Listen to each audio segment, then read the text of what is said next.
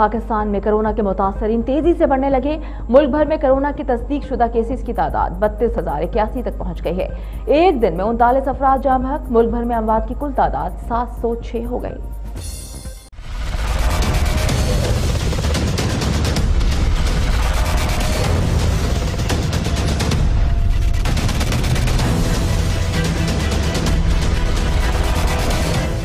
National command and operation centre के ताज़ा तरीन आदादोशुमार के मुताबिक गुजशत 24 घंटों के दौरान 1140 नए केसेस रिपोर्ट हुए।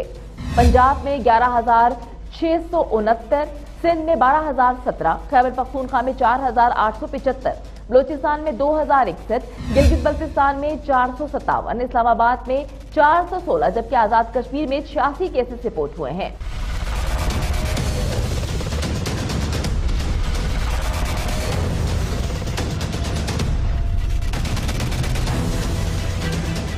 पाकिस्तान में कोरोना से एक दिन में उनतालीस अफराज जाम बहक हो गए जिसके बाद वायरस से मरने वालों की तादाद 706 हो गई। सिंध में 200, पंजाब में 211, खैबर पख्तूनख्वा में दो सौ सत्तावन गिलगित बल्तिस्तान में चार बलोचिस्तान में 27 और इस्लामाबाद में छह मरीज़ जान से हाथ धो बैठे हैं। चार सौ बासठ अस्पतालों में कायम करंतना मराकज मरीजों का इलाज कर रहे हैं। इन अस्पतालों में सात हज़ार दो सौ पिचासी बेड का बंदोबस्त किया गया है।